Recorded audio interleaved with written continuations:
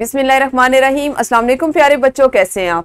यकीनन ठीक होंगे, तंदुरुस्त होंगे। प्यारे बच्चों, आप जानते हैं हम उर्दू जमात दोम का काम कर और इसमें हमारी दरसी किताब का दसवां सबक, जिसका उनवान है ट्रैफ़िक के कवानीन, उस पर काम कर और उस पर हम मुख्तलिफ़ सरगर्मियाँ, मुख्तलिफ़ सवाल करते हुए इसको मुकम्मल कर सबक नंबर दस इशारिया पाँच, यानी दरसी किताब का दसवां, और इसको हम आज पाँचवें हिस्से में पढ़ने जा रहे हैं, इसलिए इसका नंबर होगा दस इशारिया पाँच।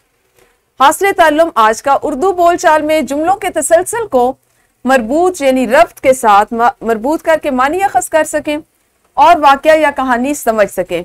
इसके साथ ही साथ आज आप सीखेंगे नज्म, कहानी या वाक़ पढ़कर सवालात के जवाब लिख सकें। हमारे मतन से मुतल ये हासिलात तलम है जिसको आज हम मतन की जैल में ही मुकम्मल करेंगे और सीखेंगे। लेकिन उससे कबल हम देख लेते हैं सबक का इस्लामी नुक़ नज़र। रसूल वसल्लम ने इरशाद फरमाया, खाना इकट्ठे खाया करो क्योंकि बरकत जमात के साथ है। अलहदीस यानी कोई भी काम जो आप दूसरों के साथ मिलकर, अपने ख़ानदान के साथ, जमात के साथ मिलकर करेंगे तो वहाँ पर एक इजाफी चीज़ होगी, वो अल्लाह की बरकत होगी कि जमात पर अल्लाह की बरकत है।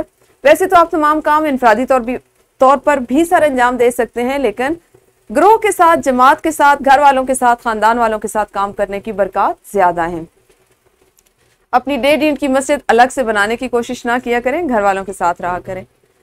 दोहराई करते हैं, जल्दी से दोहराई में आपके पास सबसे पहले आपने बताना है, जल्दी जल्दी बताना है कि जेबरा क्रॉसिंग किसे कहते हैं? और दूसरा सवाल है आपके पास कि जैन कैसे हादसे से बच सकता था? आपके ख्याल में। वीडियो को रोकना है, इन दोनों सवाल के जवाब एक एक करके अपनी मोलिमा को देने हैं और उसके बाद हम अपने सबक के अगले हिस्से की तरफ़ बढ़ेंगे। जी, यकीनन दोहराई तो आप लोगों ने कर ली। देखते हैं कि आपने आज काम क्या करना है। तो आपने मुझे ये बताना है कि क्या आपने कभी कोई हादसा होते हुए देखा है? स्कूल आते हुए, जाते हुए या कहीं और सफ़र के दौरान में? खुदा न खास्ता आपकी आँखों के सामने कोई हादसा हुआ? आप ने कभी कोई देखा है तो आपने इसका जवाब देना है। और हादसा क्यों होते हैं? आपके ख्याल में। खुद को सोचिए, उस जगह पर रखिए कि हादसा क्यों होते हैं? क्या क्या वजूहत हो सकती हैं? आपने गौर करना है और जल्दी से दो मिनट में वीडियो को रोकते हुए अपनी मौलमा को इन सवाल के जवाब देने ताकि हम अपने सबक को जारी रख सकें। जी यकीन पढ़ाई से पहले की चीज़ें हो गई, बातें हो गई, हमने दोहराई भी कर ली, सबक इस्लामी नुक़ नज़र पर भी बात कर ली। तो आज हम उर्दू बोलचाल में जुमलों के तसलसल को बरकरार रखते हुए मरबूत इबारत को समझते हुए पढ़ना सीखेंगे मानी खस करना सीखेंगे। इसके साथ ही साथ जो मतन हम पढ़ते हैं, वाक्य पढ़ते हैं, कहानी पढ़ते हैं, उसको समझ कर उससे मुतल सवाल के जवाब भी देना सीखेंगे। खा वो लिखने की सूरत में हो खा वो ज़बानी हो, ठीक है? ये हमारा आज का काम है, अपनी उर्दू की किताबें जल्दी से खोलिए। सबक के मतन की मैं एक दफ़ा आपके सामने पढ़ाई करूँगी। आपने गौर से सुनना है। जो अल्फाज आपको नए लगते हैं, जिनके तलफ़ से आप ज़्यादा वाकिफ़ नहीं है या उनका तलफ़ आपके लिए मुश्किल है, आपने उसको गौर से सुन के अपना तलफ़ बेहतर करना है, ठीक है? डॉक्टरों ने जैन का मुआयना किया, कुछ देर बाद जैन को होश आ गया। उसे कोई गहरी चोट नहीं आई थी। अब्बा जैन को घर ले आए। उमर ने जैन को देखा तो भागकर दोस्त के गले लग गया। अब्बा ने बताया कि जैन खौफ की वजह से बेहोश हो गया था।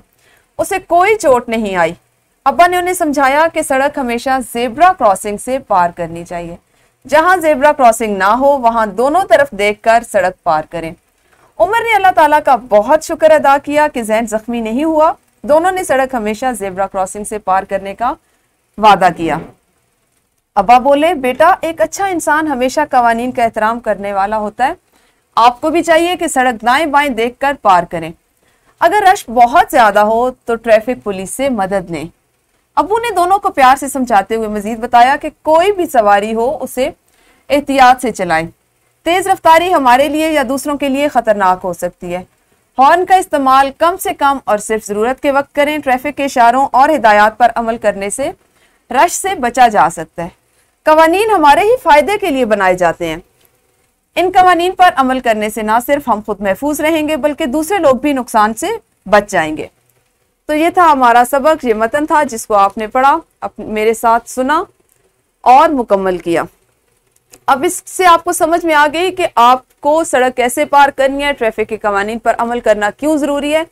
ये सिर्फ़ हमारी अपनी ज़ात के लिए, हमारे लिए फ़ायदेमंद नहीं होता, बल्कि इर्द गिर्द जो वहाँ पे लोग मौजूद होते हैं, उनके लिए भी फ़ायदे का बायस है, बहुत से दूसरे लोग भी नुकसान से बच सकते हैं, ठीक है? अब आपने जल्दी से एक इनफरादी सरगर्मी करनी है। सरगर्मी आपके पास ये है कि आपने इस कहानी से क्या सीखा, आपको क्या सबक मिला कि इस कहानी को पढ़ने के बाद आप खुद में क्या तब्दीली लाएँगे, कैसा महसूस कर किस तरह खुद को बदलना चाहेंगे, बेहतरी लाना चाहेंगे? आपने कमरे जमात में अपनी राय का जबानी इजहार करना है कोशिश करें, सोचें, दो मिनट लें सोचने के लिए और मुख्तसरा अपने नुक़ नज़र से अपनी जमात को और अपनी मुलमा को आगाह करें।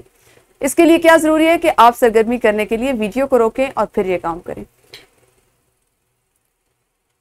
जी, इनफरादी सरगर्मी मुकम्मल हो गई, ग्रोही सरगर्मी करेंगे। आपकी जमात के तमाम तलबा पाँच पाँच के ग्रोहों में तकसीम हो जाएँ और चार्ट पेपर पर ट्रैफ़िक के कवानीन दर्ज करना शुरू करें। बेहतरीन तरीका यह है कि आप पहले से बात कर लें कि कौन से कवानीन, कौन सा ग्रोह लिखेगा और कौन से कवानीन ऐसे हैं जिनको आप इशारों के ज़रिए, तस्वीर के ज़रिए भी ज़ाहिर कर सकते हैं। वीडियो को रोकिए और जल्दी से ग्रोही सरगर्मी कीजिए। जी, ग्रोही सरगर्मी के बाद हम करेंगे मश्क। मश्क का सवाल नंबर एक दर्ज झैल सबक तलबा बुलंद आवाज़ से सुनाए और सवाल के जवाब दें। सवाल नंबर तीन, चार और पाँच हमारे आज के मतन से मुतल है, इसलिए आपने इनके जवाब अभी जमात में देने। और सवाल नंबर दो का, पहला और पांचवा हिस्सा आपके आज के सबक में आपने पढ़ा, आज उसके मतन में शामिल था। इसको भी आपने, और छठा हिस्सा, इसको आपने आज ही जमात में मुकम्मल करना है। उसके बाद आपके पास सवाल नंबर चार है, जिसमें आपने सबक को मद्देनजर रखते हुए खाली जगह को पुर करना है। सबक चूँकि आप पढ़ चुके हैं तो इसको पेश नज़र रखते हुए या इसको मद्देनजर रखते हुए आपने इस खाली जगह को अच्छे से पुर करना है, सोच समझ कर करना है। फिर आपके पास एक अदद वर्कशीट है और आप जानते हैं कि वर्कशीट का प्रिंट आउट आपकी मोलमा आपको देती है और आपने उसको घर से घर के काम में करके लाना होता है। इसमें आपके पास एक सवाल है, खाली जगह पुर करने का और दूसरा है ट्रैफ़िक के आपने तीन कवानीन तहरीर करने हैं। मजीद घर के काम में दरसी किताब का सवाल नंबर तीन, जिसमें आपका सवाल है कि सबक के तनाजर में दर्ज झैल सवाल के मुख्तसर जवाब लिखें। चूँकि आज हमारा हासिल ताल्लुम भी ये है कि मतन, कहानी वाक़ पढ़कर उससे मुतल सवाल के जवाब दे सकें तो उसी हिसाब से आज आपके सवाल जवाब वाला काम ज़्यादा करवाया जा रहा है। आपने सवाल नंबर तीन को घर के काम में शामिल करना है, उसका हिस्सा दो और तीन, ठीक है? क्योंकि पहले वाला काम आप अपनी पिछली जमात में कर चुके हैं। ये था हमारा आज का काम, जिसमें आपने ट्रैफ़िक के, कवानीन के बारे में पढ़ा, समझा, सीखा सवाल के जवाब दिए। कल अपने अगले सबक के साथ मिलेंगे, उस वक्त तक अपना ख्याल रखिए। अल्लाह हाफिज, शुक्रिया।